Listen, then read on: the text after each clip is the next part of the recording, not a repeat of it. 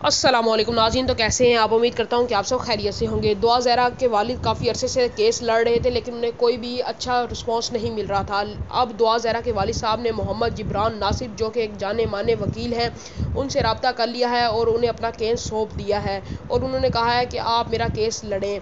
तो मोहम्मद जिब्रान नासिर ने कहा है कि मैंने चलान सबमिट करवा दिया है। इन हम लोग ये जो किडनेपिंग का केस है, बहुत जल्द लड़ेंगे भी और इन जीतेंगे भी। अभी देखते हैं आगे क्या होता है। बाकी दुआ जरा के वालिद साहब का यही कहना था कि सिंध हाई कोर्ट ने इस केस को ख़त्म कर दिया है। उन्होंने कह दिया है कि हमने ये वाला केस खारिज कर दिया गया है।